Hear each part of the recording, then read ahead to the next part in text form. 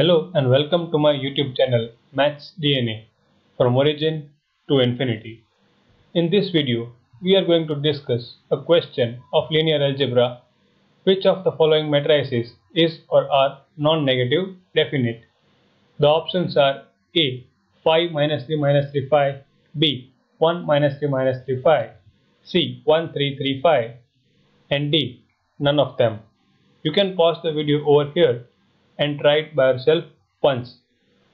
Now let us solve the question, but before that, let us understand what do we mean by non-negative definite.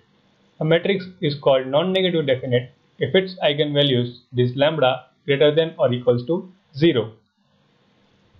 Now for matrix A, the characteristic equation is lambda square minus 10 lambda plus 16 equals to 0 which implies that lambda 1 is 8 and lambda 2 is 2 easy to factorize and both are greater than equals to 0 so option A is correct.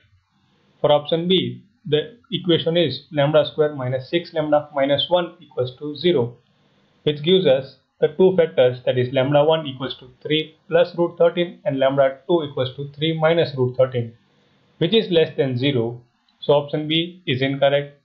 And similarly for option C the equation again is lambda square minus 6 lambda minus 1 which is equals to 0 which again implies that lambda 2 that is 3 minus root 13 is less than 0. So option C is also incorrect.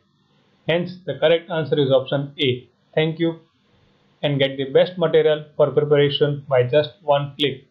The link is given below in the description and also check out other 90 plus videos on my channel